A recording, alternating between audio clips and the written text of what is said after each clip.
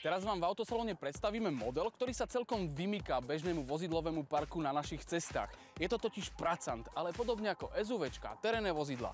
Našiel si priestor aj v našich domácich garážach. Volkswagen Amarok. Volkswagen Amarok začali vyrábať v roku 2009 a za ten čas si našiel pevné miesto medzi fanúšikmi terénnych pick-upov. Novú generáciu spoznáte hlavne podľa novej masky a nápisu V6, ale o tom neskôr.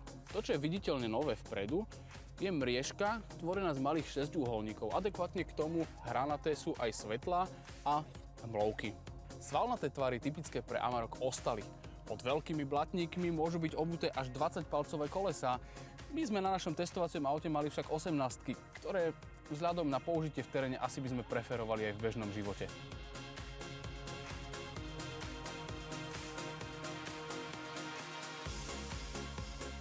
Po bokoch vozidla sú namontované okrasné nástupné lišty, ktoré vizuálne pasujú k rámu, ktorý je na korbe vozidla.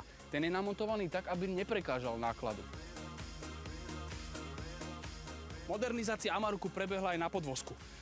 Listové pružiny sú situované tak, aby ste mohli náklad posunúť čo najviac do stredu vozidla, čo má výborný vplyv na kvalitu jazdných vlastností Amaroku. Na korbu, ktorá má špeciálnu úpravu proti poškriabaniu, naložíte takmer tonu. Samozrejmosťou sú oká proti pohybu, ale zaujímavosťou je elektrická zásuvka na 12 V.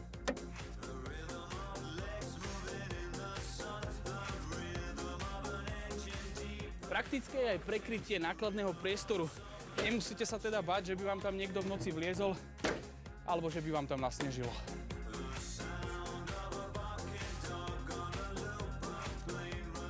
Čo sa týka spotreby, tak nás motor prekvapil v dobrom. Po poriadnom vyvádzaní v teréne sme atakovali hranicu 10 litrov na 100 km. Volkswagen pripravil celkom nový interiér a ten ma zaujíma. Čo ma zaujíma viac je, ako jazdí. Tak poďme na to.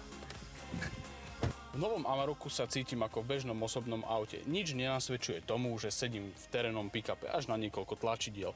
Pohodlné sedadlá s výrazným bočným vedením, nová prepracovaná prístrojová doska, nový infotainment, nové ovládanie klimatizácie a nový volant, pod ktorým sa skrývajú ovládače 8-stupňovej automatickej prevodovky.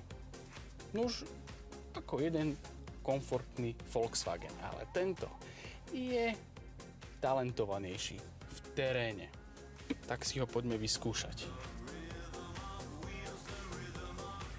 Produktová brožúra hovorí o tom, že vozidlo zvláda náklon 45 stupňov, bočný 50 stupňov, nájazd spredu niečo okolo 28 stupňov a vzadu 23 a kúsok percenta. My sme si vybrali jeden taký park, kde to asi vyskúšať môžeme. Otázka je, že či budeme mať na to odvahu.